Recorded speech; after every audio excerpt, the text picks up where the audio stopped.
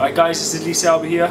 Wishing you all good luck in the Beach Warriors competition, May the 13th. I'm sorry I can't be there as I'm, I'm fighting myself a week later, but I'm wishing you all the best. Good luck.